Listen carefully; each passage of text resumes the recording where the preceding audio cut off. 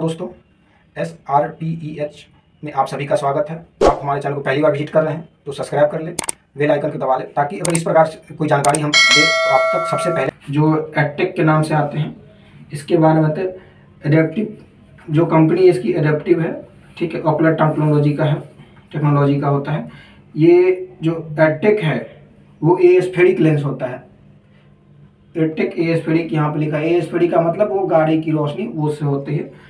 इसमें आपको जो डबल एस्फेरिक होता है, वो दिखाता है क्लियर विजन रहती है बेस्ट विजन के साथ साथ आपको एक्रेलिक रहती है और ये फोल्डेबल लेंस होती है। थोड़ी थोड़ी देर हम बता देते हैं नज़दीक से।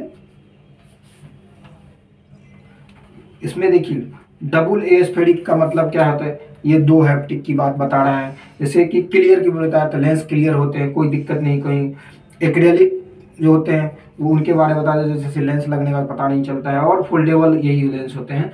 और इसकी कंपनी अपनी इंडियन है, ये अपेडिट सर्विस साइंस की कंपनी है। और ये अभी जितने भी मतलब बेस्ट लेंस माना जाता है इंडियन में, सबसे बेस्ट लेंस अभी सभी उतर रहे हैं, अभी एक आप एक लेंस है, अभी इसके बारे में बात करें, अभी